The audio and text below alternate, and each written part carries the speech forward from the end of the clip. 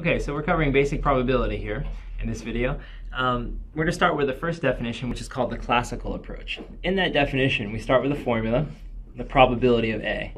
This is just basic probability. That means it's going to be a single fraction, and the fraction is going to have the following structure. It's going to be the number of ways A can occur divided by the number of total possible outcomes. Number of total possible outcomes. So let's look at a problem here to illustrate how this works. If we start with a problem like the probability that we roll a 3 on a single die, then that can be broken down into a fraction fitting this format. So number of ways A can occur in this case will be the number of threes on the die, right? That's how it'll translate. So the number of, so we look in here and we say, well, what are we dealing with? Threes, so number of threes on the die. And once you have that, the next thing is going to be to look at the denominator of the fraction, which is going to be the number of po total possible outcomes. So you'll say number of total possible values on the die. Okay, so the die is six-sided, so we should be able to figure that that pretty easy. There'll be six total possible values that are available on the die the number of threes on the die should just be 1, right? So our fraction becomes 1 because there's only one 3 on the die. And the number of total possible values on the die, well, there are six numbers that are possible on the die. So that's the probability that I roll a 3 on a die. Once you set up the structure here on top, the problem becomes pretty easy. It just becomes really a counting problem at that point. You have to count how many 3s on the die, count how many total possible outcomes. And then you can leave it as a fraction or you can convert it into a decimal and percent. Let's just leave that as a fraction. All right, so that's one approach. That's one way to work with basic probability. That's the classical approach. And the reason why they call it the classical approach is because if you look at the structure, it's implying that we can infer all of this in our head, right? We can think about the die and say, how many ways can a three occur? We can think about how many threes there are on a die. We can think about how many total possible outcomes there are on the die. But there are some cases where we're not able to do that.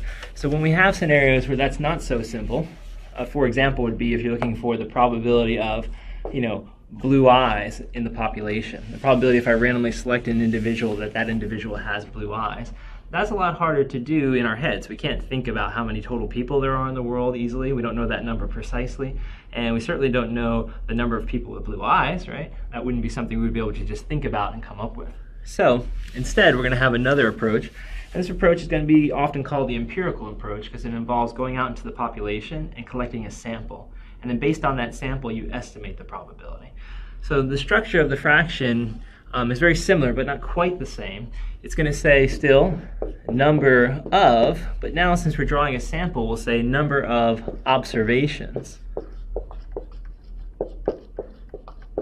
having trait A. Number of observations having that trait of, say, blue eyes, right? Divided by the total number of observations. Okay, so that's the structure of the fraction at this point. So it's very similar to the other one. We have a number of over the total, right? But in this case, it's the number of observations having the trait divided by the total number of observations made in the sample. So let's take an example problem. This one I'm going to take from um, an IRS scenario. So if 1003 IRS tax returns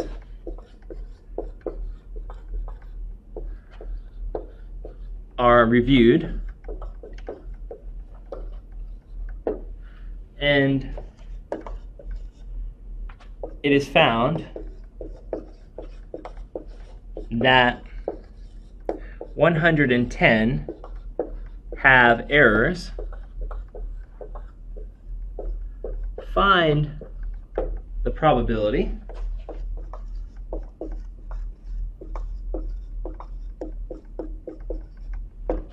That a randomly